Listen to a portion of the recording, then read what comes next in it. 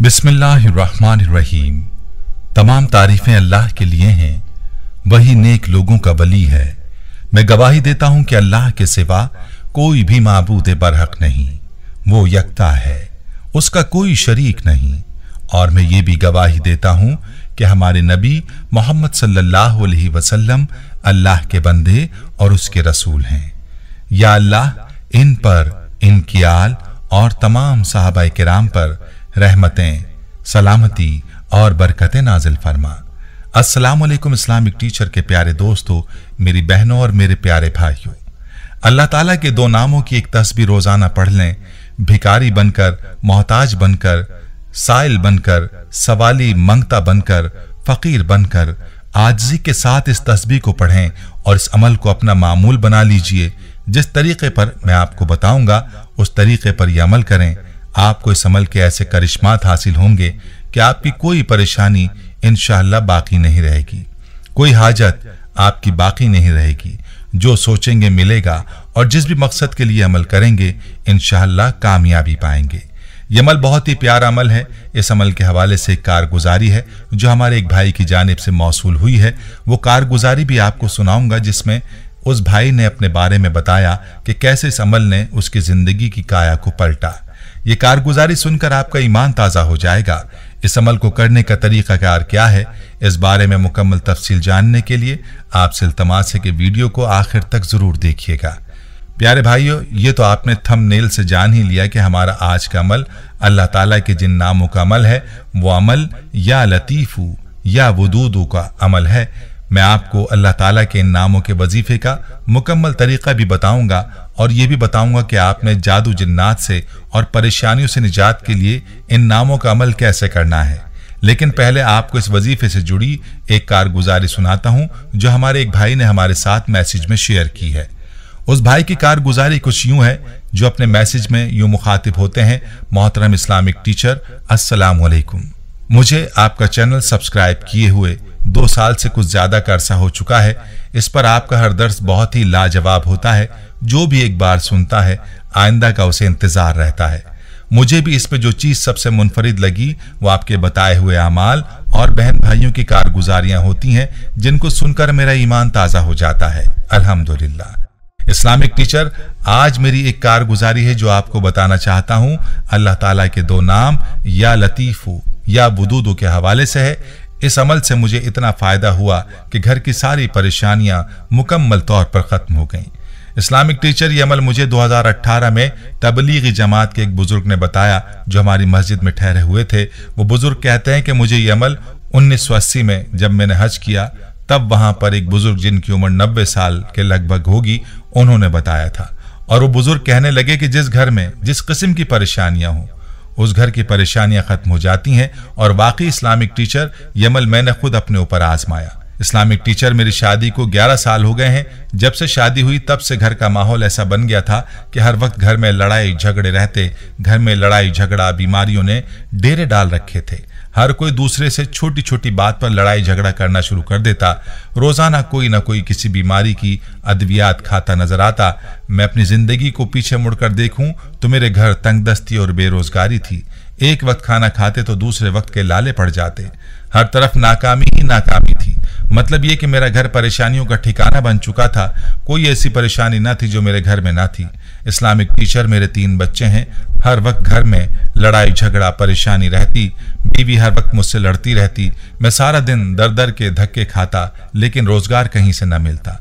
मगर एक दिन ऐसा हुआ कि हमारे मोहल्ले की मस्जिद में तबलीगी जमात आई। उनमें से एक बुज़ुर्ग, उनका चेहरा इतना नूरानी था कि दिल करता था कि बस देखता ही रहूँ। उनको देखकर दिल को बहुत सुकून आता। और उनकी बातें मेरे दिल को बहुत सुकून देती थीं। जब वो बयान करते तो ईमान ताज़ा हो जाता और दिल अल्लाह की याद में डूब जाता। एक दिन उनको मैंने अपनी परेशानियों के बारे में बताया तो उन्होंने मुझे, या लतीफ़ू, या वदूदू का वजीफ़ा बताया। अल्हम्दुलिल्लाह, ये वजीफ़ा मैंने पूरे यकीन के साथ किया। इसको मामूल बना लिया। इस्लामिक टीचर, मैंने इस वजीफे का ऐसा मुआवजा देखा कि आपको बयान नहीं कर सकता।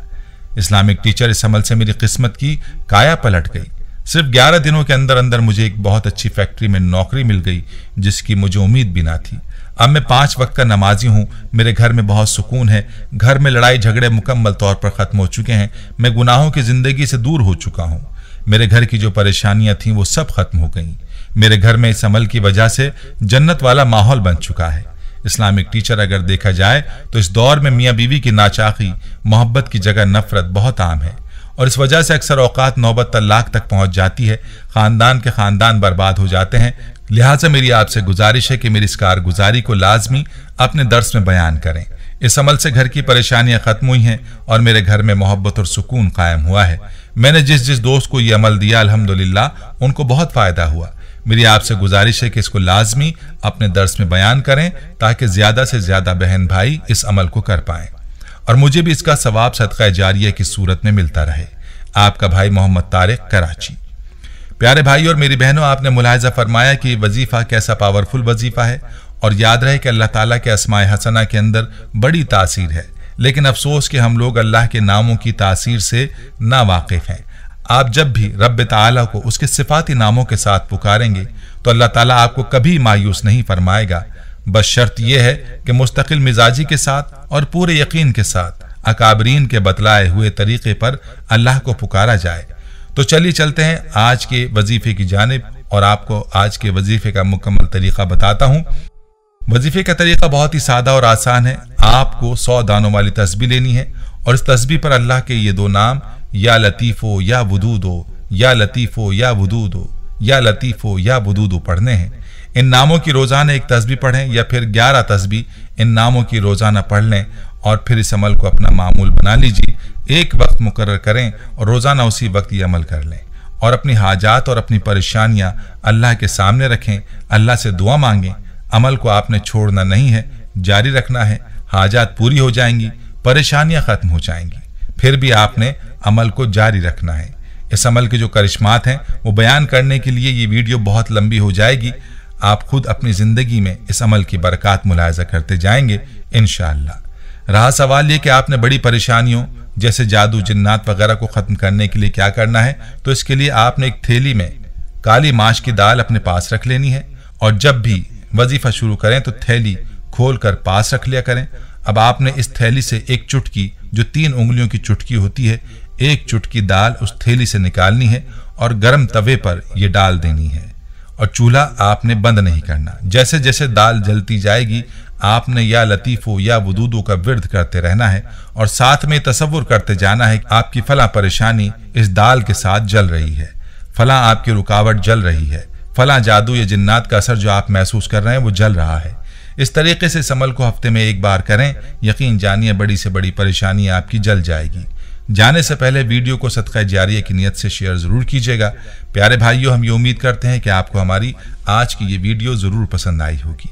अगर आपको हमारी आज की ये वीडियो पसंद आई है तो आपसे गुजारिश करते हैं कि आप हमारे चैनल इस्लामिक टीचर को ज़रूर सब्सक्राइब कर लें और साथ ही लगे बेल के बटन को भी प्रेस कर लें, ताकि आपके पास हमारी आने वाली मजीद मालूमती वीडियोस का नोटिफिकेशन बर वक्त मिलता रहे।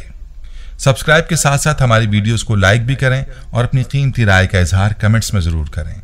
कमेंट्स में आप अपने सवाल भी हम तक पहुँचा सकते हैं। अल्लाह ताला आपको अपने हिफ्ज़ अमान में रखे। आमीन।